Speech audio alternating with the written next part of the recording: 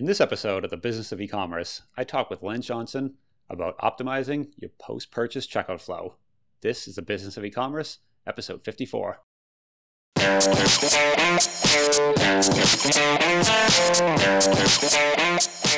Welcome to the Business of E-commerce, the show that helps e-commerce retailers start, launch, and grow the e-commerce business. I'm your host, Charles Palleschi, and I'm here today with Lance Johnson. Lance is a founder of Scale XL, I asked him on the show today to talk a bit more about how you can get more revenue by optimizing your post-purchase checkout flow. So, hey, Lance, how are you doing today? Hey, I'm doing well, Charles. Awesome. So glad to have you on the show today. Um, first, what is ScaleXL? I want to kind of get your background a little bit and how you got into this. Yeah, great question. So, uh, ScaleXL is my newest venture. I've been uh, doing e-commerce consulting for, I guess, about 10 years now. Uh, I started because I was a broke college student. I ended up failing out of school and I needed to uh, find a new way to replace my scholarship. I got five younger brothers and my parents said, it's a great idea if you go to school, but we can't pay for it. So you, uh, you're going to need to figure something out. And I said, man, what can I do? And I'd done a little bit of web design in high school and somehow stumbled my way into digital marketing uh, and started off as a copywriter. So then one thing led to another, ended up founding a company with some guys and uh, realized that there's just a huge market in direct consumer uh, e-commerce offering. So I said, man, I'm going to keep doing this. Uh, took a year off and, and, did a year of mission in Chile. I'm Catholic and uh, came back and de- decided to get back in the game. Did some more consulting for a, a survival product company, uh, and now I'm looking to acquire some companies as well as offer a, a little bit of individualized consulting.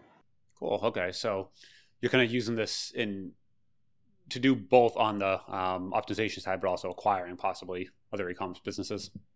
Yeah, and I, I'd say with optimization, part of the idea too is looking at it and seeing, hey, are, are, is this person going to grow their company and then eventually want to exit their company? So uh, almost a way to make a win-win relationship that'll that'll mean potential deal flow five, ten years down the road. Okay. And are you platform agnostic, or is there a certain, um, you know, Shopify, a certain platform that you guys are, you know, looking for or only work with? Yeah, great question. So I think that uh, Shopify has some beautiful plugins, right? There's CartHook, which makes that post-purchase checkout flow a whole lot easier. Um, but BigCommerce has some plugins that work. I think one of our, our clients was very large. They were, you know, mid eight figures. They used a CRM that most people, you know, it was really big for the subscription market uh, called Limelight CRM. So then it, you know, it was very bespoke. Everything had to be custom coded, but we still could work with them just fine. So I'd say platform agnostic, but there's certain platforms that make life easier for sure. Okay. So when talk about optimizing the post-purchase checkout flow, post purchase checkout flow. Sorry, a lot of uh, a lot of P's, a lot of P's consecutively that. so when you talk about optimizing that, what uh, what exactly are we talking about? It's after the sale is made, then what? Yeah, great question. So there's two main pillars that I think of. Uh, first is the the thank you page, right? So the immediate page that they're going to see right after entering their credit card information.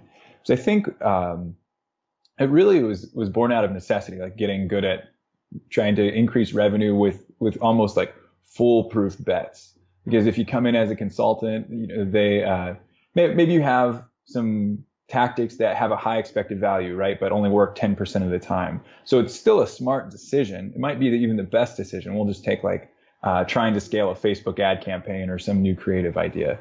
Like that could be one of the best things for the business, but it's going to take 10 swings to really find one that works well. And uh, no client, or you know, even if you just acquired a business, like you don't want to, you don't want to have something with low expectancy, right? You don't want to have something that has a high chance of failing. So that's really where when I when I sat down and said, "Geez, if I only had uh, one test to run, if I could only change one thing about the business, where would it be?" What I got to was really the post-purchase checkout flows. Um, and so the first one is the thank you page, and the second one is the email sequence.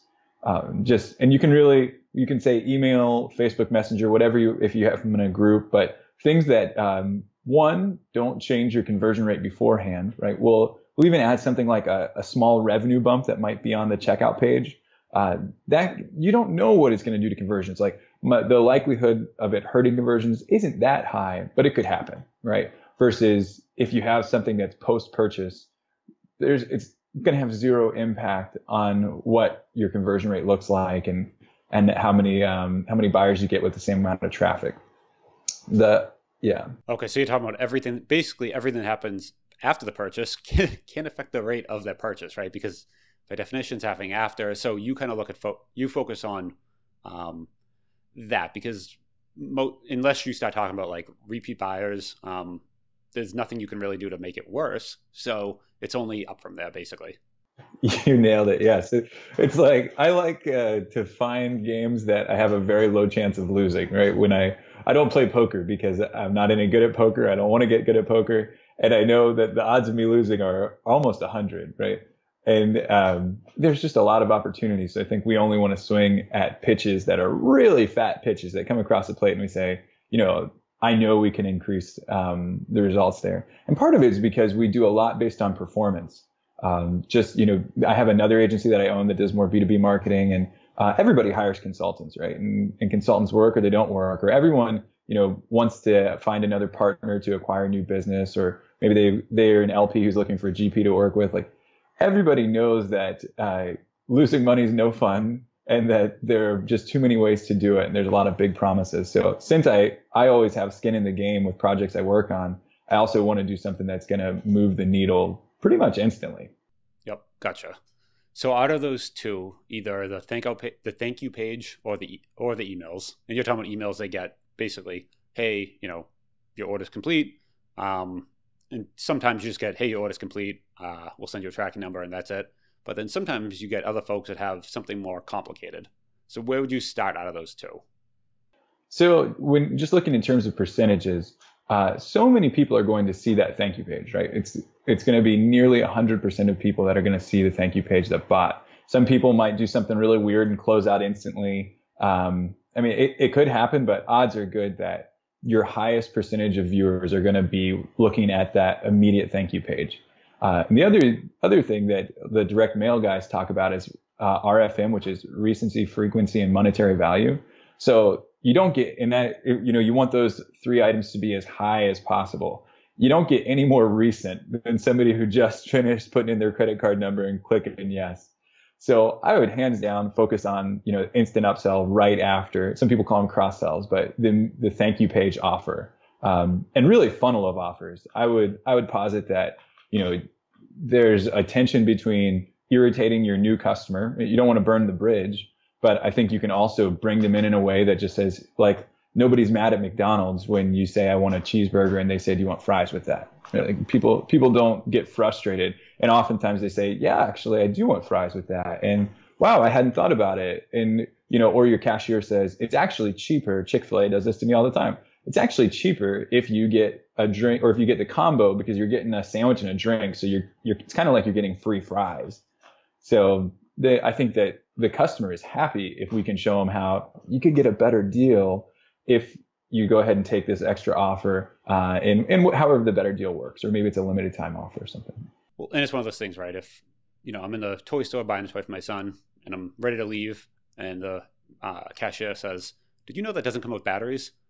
There's that moment where either you say yes, I you know have them at home, or you go oh oh let me grab and you grab those right in there, right sitting at the end cap, and that's that moment you don't care. You you actually like are happy there, you know, stopping you for a minute and saying, did you know by the way that doesn't have batteries? If you want, they're right there. Let's grab them, um, or not, yeah. and you can take it or leave it. Exactly. Yeah. There's always a no thanks, and I think that the you know to go with the analogy the maybe the difference between McDonald's and um, a lot of the things we've seen have success is just a, we'll just think in terms of percentages of uh, take rates, right? So at McDonald's, I don't know what the percentage of people that take fries and drinks are. Um, those are two very high profit margin offers, right? Especially drinks. So, and I would guess that since it's pretty low ticket in comparison to the original item they bought, um, then they get a high take rate. Like there's a lot of people that say, yeah, I'd like fries and drink. Um, in contrast with the post purchase upsells, you know, where on that thank you page where you make a new offer, um, you really have some flexibility in deciding what works best with your market, right? I've um, there are the free plus shipping funnels where maybe you paid nine bucks for shipping and um, got a, a $20 product for free. And, you know, you came in, well, we've seen it where you offer a product that's $2,000, right? And sure, it's going to be a low take rate, maybe a, a 2% take rate, but you can do the math on average order value, right? If you, if you just say our cogs were 50%, so it's a thousand bucks. So you got 20 bucks out of a sale that was $9. Uh, so your average order value, and we're talking with gross profit is now, you know, let's imagine you had to lose three bucks on it. You got a $17 average order value for a product that you sold for $9. And, so, and the best part is it didn't cost you anything to make that offer, right? So, and it didn't cost you anything. Yeah. Yeah. So it's nothing, you know, there's nothing that you already acquired the customer. They're already there. You've, they've already purchased from you. Yeah. And now it quite literally is an upsell. Um, there's no extra, um, there's no extra money you need to put in even time, you know, you set it up, but there's no extra like thing that needs to be done at that point. It just, you can make them the offer and take it or leave it. And if there's any percentage bump, like you said, that's a win. Yeah. Well, and, and to give some context, like I think that with a, a fully dialed in upsell flow, you know, if you if you're making at least two offers, right? I would expect 30% to 50% of the revenue on your on the product funnel, right? We'll just imagine that you have a flagship product, uh, or you even set up flows for a couple different products that are your best sellers. Then you can, you know, you can add 30 to 50% of revenue just by having a dialed in upsell flow. So it's not a negligible amount of revenue either. And you, what was that percentage again? 30 to 50 30 percent. 50. So yeah, I've heard that a couple times. I'm always yeah. shocked by uh, that number. Always seems shockingly high, and that's Yeah. not the first time I've heard it. And it's always just like like unbelievable. like, and when you say two step, are we talking make them an offer and they can say no, and then li- quite literally make them a second offer? yeah, so I'm thinking that um, this is where you have to decide what the customer experience is is going to be best as. But uh, it would be like, hey, you know, you come in and um, we'll taste, we'll just take McDonald's again as our analogy, uh, or we'll do that free plus shipping. So you come in and you say yes to the nine dollar product. Maybe I'll offer you a three hundred dollar product. You say no. I say, well, how about if you take this three hundred dollar product in payments, right? What if we do an installment plan? Um, and I mean, you could switch it. You could do the upfront uh, installment plan and then offer. Then when they say yes to the installment plan, they get another offer that says, "Hey, I know you took the installment plan. Um, why don't we decrease the total amount if you paid a day?"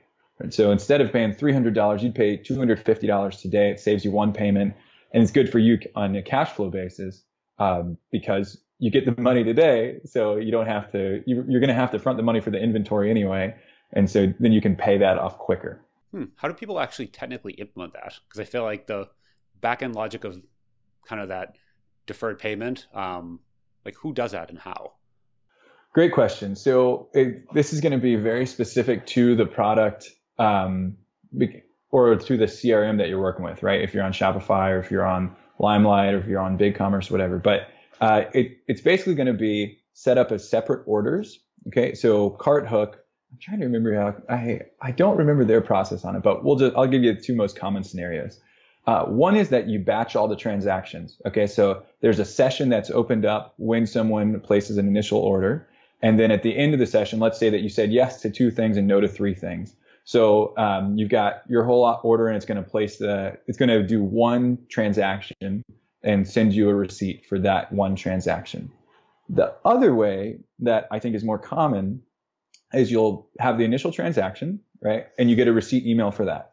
Then you have the second one, uh, you say yes, you get another receipt email for that. You have the third one, you get a receipt email from that. And so if it was a subscription, then what it would do, you could, let's just imagine using Chargify. It would be a subscription or in Stripe, you can go in and set payments, number of payments. And so uh, you could say, all right, we're doing uh, five payments of 90, $99.95. And so it just enables that subscription um, just as if you were selling an individual product. And it's just it's essentially creating three separate orders in the uh, shopping cart. So versus the other way sounds a little more, um, you know, depending on shopping cart by shop, if, if they can even do it, on like batching them together and then actually processing payment once, because there's also that separation with the credit card if you're actually doing like an auth and then capture. Um, so you'd have to like defer the capture. You have to defer the capture until after the last, um, basically until you really know. No, no, no, I'm done. I don't want it anymore. and, and then okay, now I really believe you. Okay, Yeah. No, what I've what I've really seen it normally is that you just process it as separate transactions.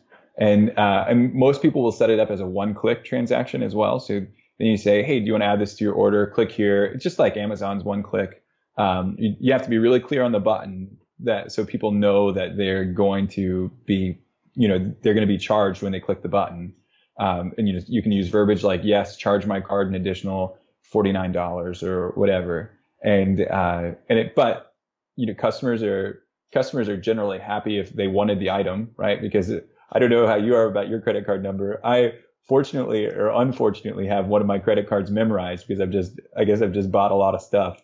It's like you need uh, you need online shoppers anonymous when you memorize your credit card number. Yeah, I've tried buying stuff. you try buying stuff on your phone, and you're like, uh, it was like, don't I just don't want this thing anymore if I have to type it into my phone. So I started using oh not not a plug for one pass, but I started using them 1Password, and it that's the one thing that makes this a lot easier. You have them all right there, and you you can go right down. But that's another story. So, but if you want to buy on your phone, use one pass. There you go. And so I think that for the consumer, right, they already put out their credit card and, uh, and so much of like mobile traffic. I don't know what your percentage of mobile traffic are, but you know, our last client, they have 70% mobile or something like that. It was, it was just an absurd number of mobile purchases and, and people on mobile will buy high ticket products, will buy low ticket products. It's not like I, I've heard that, um, idea that like you educate on mobile and then you push for a purchase, you retarget on desktop. And I just haven't seen that to be the case where I'm, I'm sure that there's a place for education on mobile and people consume content differently, but man, people flat out buy on mobile as well. I, I feel like that was the case a few years back. You know, if we go years ago, like 2014, 15, when mobile was still like coming up a little more, when it wasn't like that normal.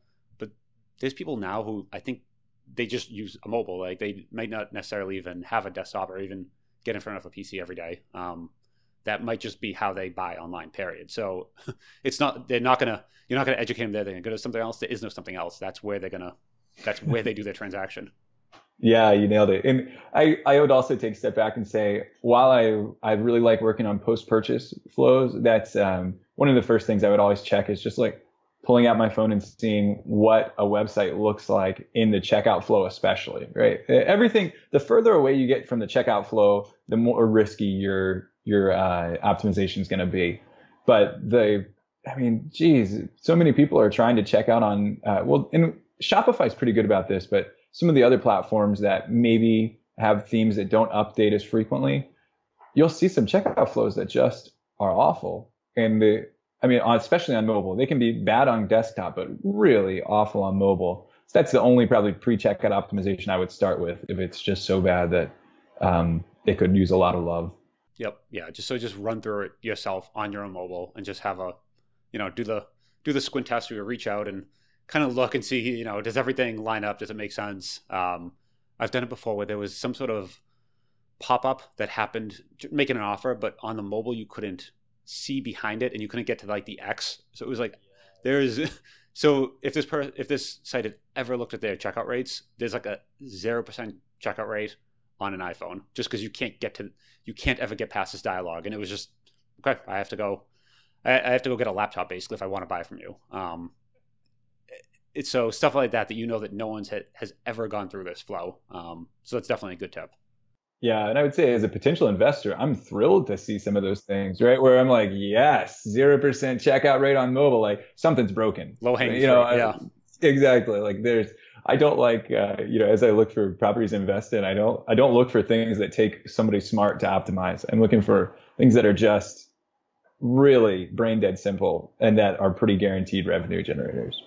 Well, that's probably probably why it sounds like you focus on the post purchase, right? Where you know if you come in, you know whatever the rate is now, you can you can make it go higher. Um, and like you said, it might be thirty to fifty percent. Like if if that's your number, you know day one come in and it's you're going to improve. Yeah. Nice.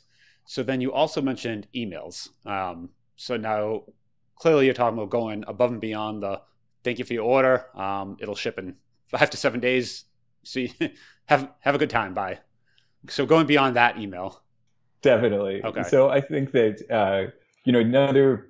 It, this is going to depend a whole lot on what your cash flow situation is, but uh, I usually imagine that a, a, whole lot of the value of a customer is going to come in their first 90 days. Again, we'll go back to that recency, frequency, and monetary value. So if I have, a, if you don't have an, another offering, right? Let's just imagine you're a, a, single product brand and you have one sales funnel or you have one e-commerce page. This probably isn't going to apply as much, although you can always offer more in terms of quantity. Um, you know, if they like it, you say, well, they just bought one. What do they need another one for? You're like, this is the perfect time to ask. The closer to that initial purchase, then the better it is to ask them to buy again. But you definitely need your transactional emails, right? So your thank you for ordering, here's your tracking number, those kinds of things. But the next step is to really bring them into a conversation with your brand. And so I'm not saying like conversation like, hey, I want to know exactly, um, you know, what your your hopes and dreams outside of this niche are, but helping them to get familiar with hearing from you on a regular basis. And so always think of it as like a 90 day sequence that shows them our best offerings, shows them the um, you know best ways to interact with us, right? So you can do some really helpful things by. I heard a great tip from um, oh it was Sully from BombTech Golf where he was he was talking about just the importance of sending out a question email. Right? I think he was saying that email number two for him, which we're totally going to swipe, is just question and then it has a question mark and it asks a, a really simple question.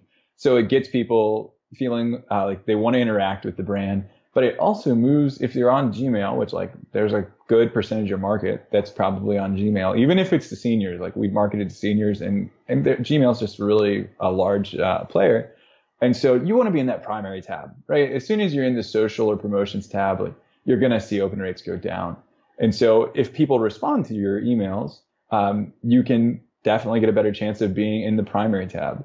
And on top of that, just like educating them on how you'd like them to interact with your emails, saying could you drag my email from the social tab or whatever tab you saw it in to the primary tab? That should be pretty early on in the sequence. Um, because it'll just, it'll be a cascading effect that really impacts all the emails you send.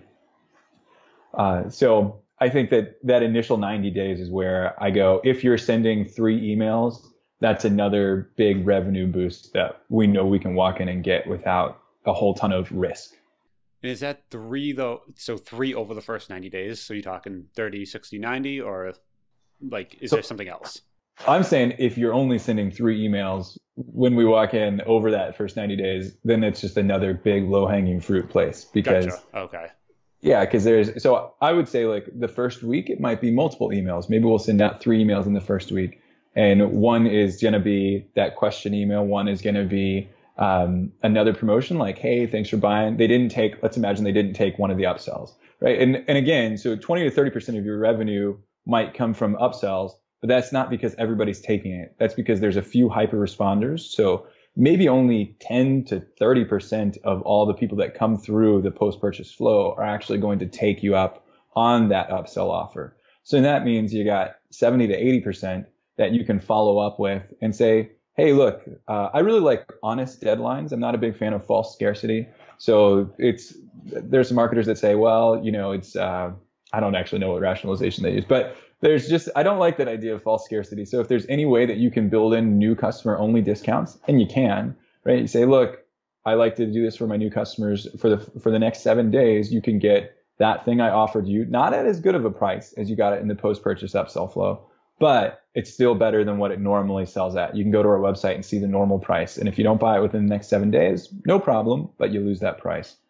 Um, it's funny. I've, I've done that. And then like six months later, you get someone forward you that exact email and go, all right, I'm ready now for that price. I think, all right, fine. You, you, can still have it, but it wasn't real, you know, it was false scarcity, but sure. Um, so I guess it still actually serves a purpose, but you might not be able to force them to do it over, uh, you know, that first week, but they do at least say, "Oh, I have this coupon now that pretty much works indefinitely." So I've seen. Well, that. we've we've told people no, right? Oh, really? they say, "Yeah," they say, "Well, I'd like to buy it at the price," and I say, "Sorry, you know, this is it was for that timeline." Like if you look at the email, it says it was seven days, and uh, we're at like day 312. Like, sorry, man, you can't get it, and um, and so I, I think that the, you know, no if somebody was really mad about it or maybe wanted to sue us, I don't know what I would do. But the but in normal situations, I think that it's uh, it's probably okay. Like a customer knows if they miss a sale at Target because it said coupon expires 12 31 2018 they they know they can't bring that coupon in um, and so I, I think a lot of them are okay with it in general when when they don't get to you know have that coupon work for them still. Got it. So then let's say over the first 30, 60, 90 days. So let's say three in the first week, but how many in total are we looking at in this sequence? Like how far how how far would you push this? Yeah, good question. So it depends a lot on um, how many offers you have, how many partners you have that you can make offers for. I mean, what the what the like level of content available is for the brand. Because what I don't want to do is slam folks with offer, offer, offer, offer, right? Like you could just think of that as like a churn and burn. And it doesn't matter how strong, like if Apple sent me an email every day, or I think it was probably 2014 and partnered with some guys and it was like, I realized that you can send people five emails a day and like you could just get that, that revenue that much faster. It's like you can until they unsubscribe. And I mean, there are people who like, well, co-reg. I don't I don't work in the supplement space, but I think it probably when I've talked to some of the guys, there's some really ethical supplement folks, and there's some guys in supplement space or info product space that probably have a different idea of like what they want their customer experience to be. Um, so that's one extreme, right? You could send five emails a day for 90 days, and then. I, I guess you yes, okay. yeah, I there were folks one. who did it, and uh, I was shocked, but you know, yep. Uh, so the flip side of that is um, I don't think you need to send. Some people are really afraid to send more than an email a week, right? They're like, well, what if they don't want to hear from me? Because I don't think as humans we're really good at thinking in power laws, right? We think really well linearly, and we don't think really well in power laws. And so there is there's Richard Koch. He wrote this book, The 80-20 Principle, which I bet all your listeners know about. And then Perry Marshall has 80-20 Marketing. Um, and the thing that convicts me on a regular basis is best buyers want to buy more. And it, and not in the sense that like I have to force these folks to buy more, but like they are actively waiting and looking for more offers. Uh, I would probably fall into that category for like private equity podcasts, right? Like I don't, it wasn't like, oh, I listened to a private equity podcast, so I don't need to listen anymore, right? I I actively search, or I liked the guy's uh, interview, so I listened to it, and I'm going to listen to five more that the same person did. Uh, and you know, we all know that kind of mini obsessive behavior, and our customers are the same way, right? Now, I think that it's important to, if they ask you to stop sending them stuff or decrease the rate, or they're not opening, which is really, I think, another way of somebody asking you to do something, right? Like if if you and I are having a conversation and you shut down and I keep talking at you, then it, it's not really a conversation anymore. Yeah. Uh, and it's the same way with a customer. But for the folks that are responding well and, and you have solid open rates on it, I would say they, they want to keep hearing from you. So to get really specific, I would look at a minimum of two update kind of emails per week. So if you can have content that's very relevant, um, we'll just, you know, imagine that we're in, I'm trying to think of a, a good client. Well, we'll just say golf, right? If, if you're in, uh, if you bought golf drivers, uh, then there's probably multiple topics that you're interested in that don't necessarily relate to the product, but I can make a plug for another product in just like a space ad format. So, you know, maybe I, I have a content writer put together something on the mental game of golf, right? It could go over, uh, there was a guy who wrote the, the inner game of tennis and then there's, you know, you could just talk about like, Hey, here are the, the mind hacks that golfers, the best golfers use. Uh, and inside that email, like you have a space ad.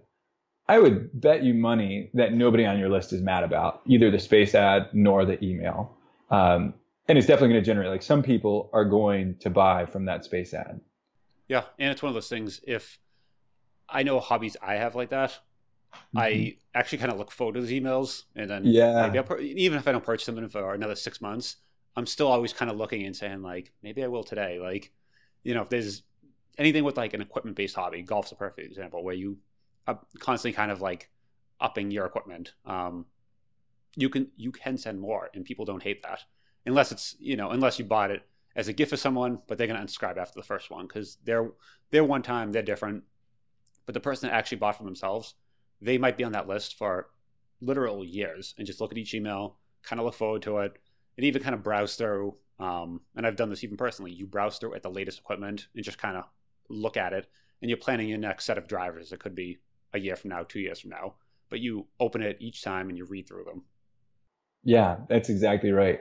So I think that, you know, if you're going to go with a real minimum sequence, then you two emails per week that are very content based with a space ad, and then one that just lets people know maybe you have something new, but it's it's explicitly product related, right? So you say, hey, we've got, um, and this could be a time bound thing. Hey, uh, again, thanks for being a new customer. You know, week one, this thing's going to expire, and it's got maybe a couple emails that leads into it. Just wanted to remind you this expires. So they can be super short and very simple.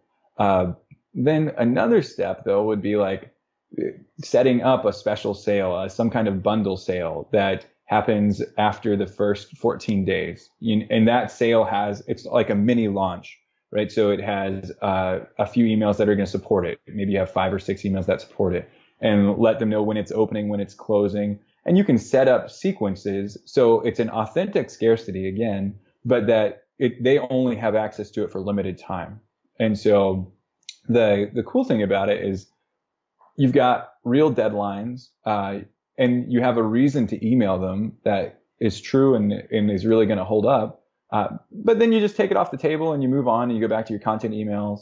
And so I would say if you do for every four weeks of email, you do one week of mini launch, uh, then you're probably in good shape. So you can alternate that content plus like everybody knows that if I'm subscribed to a list for a store that they're going to sell me something once in a while. And you can take non-openers out or you can like how you treat non-openers is really going to be a big deal for deliverability but it's up to you right? And it's and it's not going to hurt um, what you have going on existing because it's a post-purchase kind of flow and i've seen before i think there's a way to actually do this inside that um, you know it's commonly called a drip campaign something kind of that's like always sent out inside that drip campaign to pull in here's the latest sales from our shopping cart um, and it's dynamic. So whatever, so there might be a top five sales, top three, and you pull those in on the, you know, third email, second email, and say, here's our latest sales.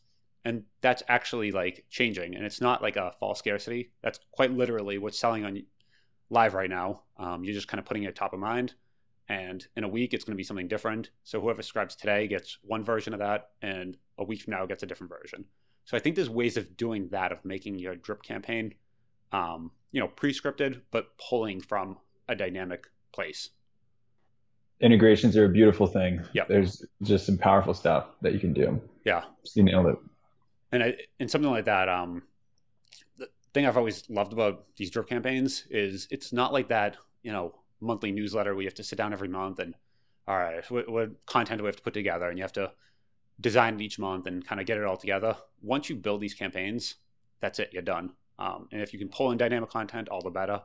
But the, even if you can't, even if it's just static, if it's a first time user and you're able to um, tell, hey, this is the first time this person went through the checkout flow, you send them this campaign, it's always that person's first time seeing this. So even if you've read through this a hundred times, it's new to them each time. And that's the neat thing that, you know, you start thinking like, uh, you know, do I have to do something new? But you really don't have to because you're only sending it to new users that this is the first time they're seeing it. So it's you can optimize, but you don't really need to change it unless you find a reason to optimize. You nailed it. And honestly, I mean, we have clients that have used the same flow for a couple years where they went, oh wow. And I mean, maybe they had to switch out products, but like you said, if you're dynamically importing the products anyway, uh, then you don't even you don't even need to do that. But it's really if I walked in and I saw somebody that had a great 90 day sequence, I probably wouldn't mess with it, right? If because the optimization, like what you're going to get out of it is, is probably going to be minor. You're, you're probably not going to hit any home runs uh, if somebody already has it. These are these are best if somebody sends out um, just a newsletter, right? Maybe they have a rich text newsletter, an HTML newsletter, and that's where I would get really excited. Like, hey guys, there's some money on the table. Let's do these plain text email sequences that people really like getting, or you know, let's try some there. So yeah, it's, it's, it's funny when people um when you talk optimizations, everyone has that example of how Google changed like the button color slightly, and you know they had like a hundred variations of blue and all these things, and you and they got this like they give like the percentage it increased it, and you know but what that actually meant to their revenue. But then you realize, but then everyone kind of forgets like, but you're not Google, so like trying to, you know, like a like a one hundredth of a percent doesn't actually do anything for you. So going from not having it to having it is where you get like 98% of the gains going from like the color of the button unless you're google amazon you know someone like that you're not gonna that's not gonna start moving the needle. So you need to look for, like you said, these opportunities where people haven't even haven't even touched this yet, haven't even tried.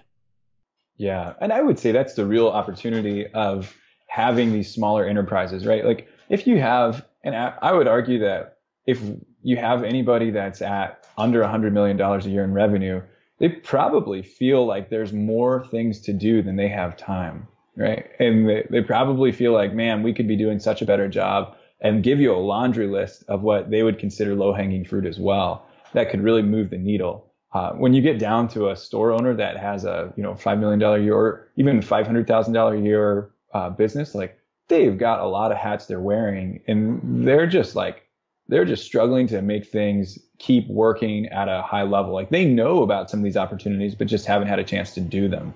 So optimization, I I like optimization. You know, I like uh, there's just some really good tools that because you mentioned that hundredth or thousandth of a percent man, most of our data collection isn't even going to be accurate to that level, right? Like, yeah, it can be falsely precise where it looks like this is, you know, we are confident in this and, uh, and, but your confidence interval, you know, it goes to six sigma or it goes to a three sigma or whatever, but you're tracking only, it has a 10% tolerance, right? Depending on where you're at. So you could have noise that dictates the winner if you have under that threshold.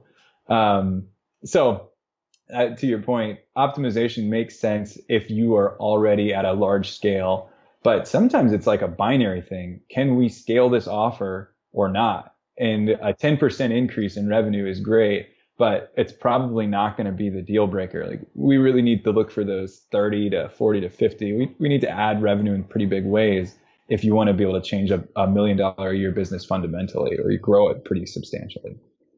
Have you seen a business where doing anything kind of post purchase doesn't make sense, it doesn't kind of fit, or it doesn't like doesn't work. Um, I'm trying to think: is there an example where the price point's too low, or let's say you have all products that are of the same price point. So maybe you have a a t-shirt business where, um, you know, every product is 9.99 or whatever it is. Is there a point where it doesn't make sense to do this, or there's not like a, a good set of offers, or is yeah, it something you can always kind of figure something out? It's a great question. So I would say that uh, the the main place that I see it is when you leave the self-serve transaction model and you move into the uh, kind of bespoke or like an agency model, right? When, whenever you're selling something, uh, even if you have to go to a competitor and say, look, we want to sell your product on the site because it's a great add-on or or whatever the case might be. I think that you know, from we've done post-purchase upsells from anywhere to a five dollar product uh, to like a $2,000 product. So it really goes up and down the spectrum pretty well. Um, and the ratio, like you can just expect that if you get way outside of it, the take rate's going to be much lower, or it's not going to make a difference for your product. But when you're when you're negotiating a contract, and let's say it's a fifty or hundred thousand dollar contract, that you know anything that's going to require a purchase order to be generated and it's hard to pay after the terms were set, yeah. So if you were a homes, if, if you sold something like real estate or you sold something like, um, I don't know, boats possibly, like where you, you really have uh, a price that was negotiated and then finalized and then like I cut you a big check or I got financing for, then that would be a bad time to use it.